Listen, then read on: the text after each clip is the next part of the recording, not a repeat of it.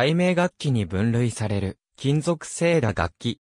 キリスト教の教会などで見られるような鐘を、コンサートの舞台で演奏しやすいように、一つ一つの鐘を管状にして、ピアノの鍵盤の順番と同様に並べて吊るした楽器である。1867年に発明された。単に、チャイムズや、コンサートチャイムズあるいは、シンフォニックチャイムズ、カンパネラなどとも呼ばれる。日本では複数形をカットして、チャイム、コンサートチャイム、シンフォニック、チャイムと呼称される。日本においては、NHK のド自慢の鐘と紹介すれば、一般にも馴染みのある楽器である。音域は、中央ハから上へ1オクターブ半ほどである。管は長いもので150センチメートルを超え、楽器として、スタンドにセットされた状態では180センチメートル前後の高さになる。管の太さは音程に関わらず同一のものが使用される。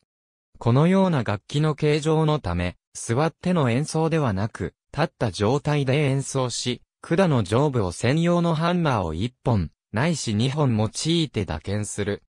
専用のスタンドに吊り下げた状態で演奏するが、単音が必要な場合には1本をスタンドから外し、片手で吊り下げて演奏することも可能である。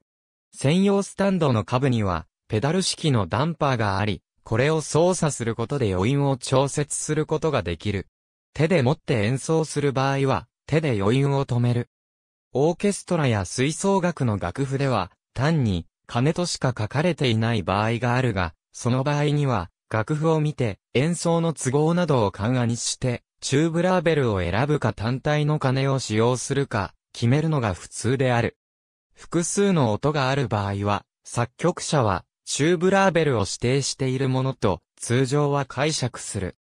その、鐘のような倍音構造から、作曲家が音域を正確に把握していない場合もあり、奏者がオクターブ上げたり下げたりして演奏することは、慣例になっている。